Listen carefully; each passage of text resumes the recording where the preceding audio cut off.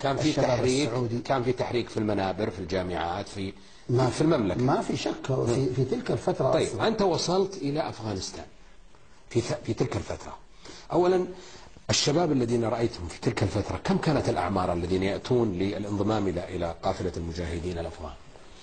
في الواقع أن السمة الغالبة على الشباب الذين يأتون هي في الفئة العمرية ما بين الخامسة عشر إلى الخامسة والعشرين.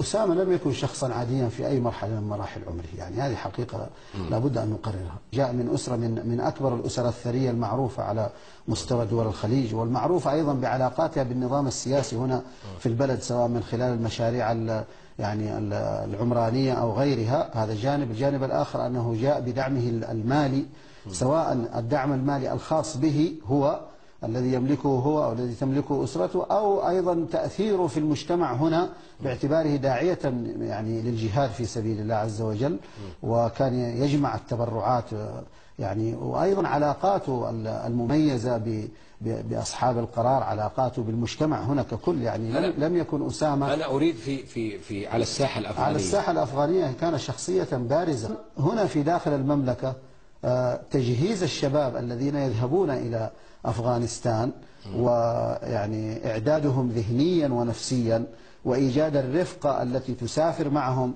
من هنا مثلا. يعني مثلا أنا أضرب لك طبعا قد يستغرب الناس الآن في هذا الوقت الذي أصبح الجهاد جريمة فيه قد يستغربون ما أقوله الآن لا تستغرب أنه كان في مطار جدة كانت مجموعة من الشباب المجاهدين مهمتها استقبال من يأتي إلى مطار جدة لكي يسافر إلى باكستان.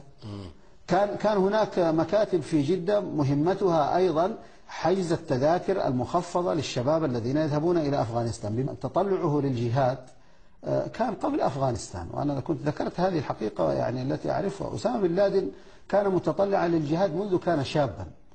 آه، ولهذا كنت ذكرت في في بعض اللقاءات وهذه حقيقة معروفة أنه لما لما كان هناك حصل الإشكالات في سوريا بين بين النظام السوري وبين حركة الإخوان المسلمين وهذا كله أصب يعني كان معروف في ذلك الحين عالميا.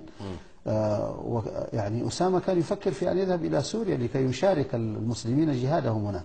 روح التطلع روح الجهاد كانت آه، يعني روح آه، مزروعة ومغروسة في نفسية أسامة بن لادن. اشتغلت ك عملت معه كم... أنت عملت كمفتي. كمستشار شرعي له؟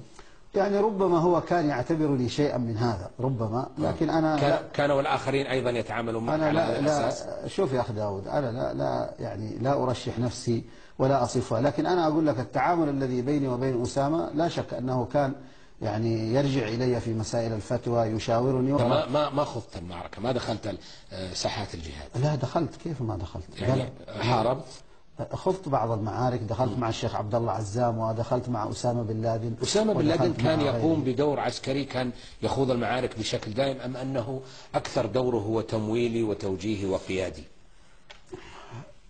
في الفترة الأولى من بداية الجهاد كان دور أسامة بن لادن دور تمويلي وتعبوي. لكن بعد أن تأسست معسكرات خاصة للعرب أصبح دور أسامة دور مباشر وأصبح هو الذي يخوض المعارك بنفسه وهو الذي يخطط تخطيطا عسكريا وهو الذي يعين القيادات وهو ال- هو المشرف العسكري على كل المعسكرات. يعني تستطيع يعني نستطيع أن نقول اختصارا وإن كان ليس بهذه يعني بهذا الوضوح لكن نستطيع أن نقول بأنه هو كان القائد العسكري للمجاهدين العرب. لماذا أختار أسامة بن لادن 15 شابا من 19 من السعودية؟ دون أن نغمط يعني بقية الشعوب حقهم. لكن أنا أقول لك من خلال الجهاد في أفغانستان الشباب السعودي شباب متميز.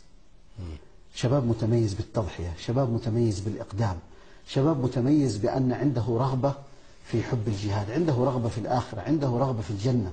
ما عنده تردد الشع- الشباب السعودي شباب متميز شباب مضحي تواق إلى الجهاد. خذ الآن في العراق. من أكثر الشباب؟ أليس هم الشباب السعودي؟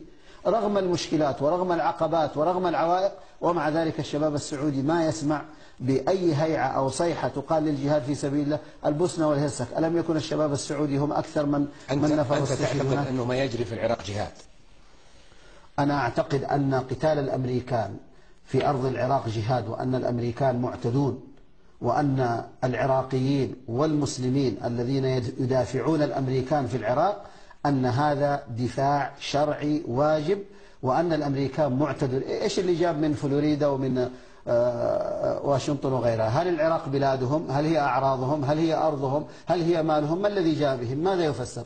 بكل المعايير لا يسمى إلا اعتداء. ودفع الاعتداء ما في أحد يقول بأن دفع الاعتداء لماذا يتحدث كثير من الدعاة في المملكة العربية السعودية مثل سلمان العودة مثل عائض القرني مثل آخرين؟ يقولون أن ما يجري فتنة وأن هذا ليس جهادا. أنا الذي أعرفه طبعا وأنت لك معلوماتك لكن أنا الذي أعرف من سلمان ومن عايض وغيرهم أنهم يقولون دفع الأمريكان جهاد لكن هم لا ينصحون أن يذهب الشباب السعودي. طيب الشعب اليمني هل ترون يذهب أو لا؟ الكويت يذهب يعني لماذا أنتم تخصون السعودية. الشباب السعودي تقولون لا يذهب؟ هل هي مجاملة للنظام في السعودية